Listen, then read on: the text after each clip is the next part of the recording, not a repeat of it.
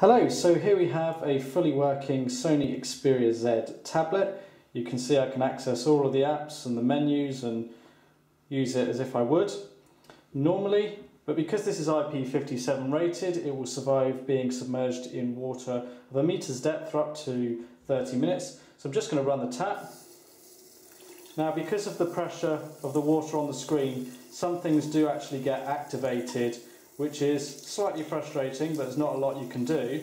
But the fact is that I'm pouring water all over this, turn the tap off, the water's beaded and run off, but I can now continue to use the tablet as if I would normally. You might need to dry it off a little bit because of some of the sensitivity, but there we go, I'm using it just fine on here. So that's the Sony Xperia Z underwater.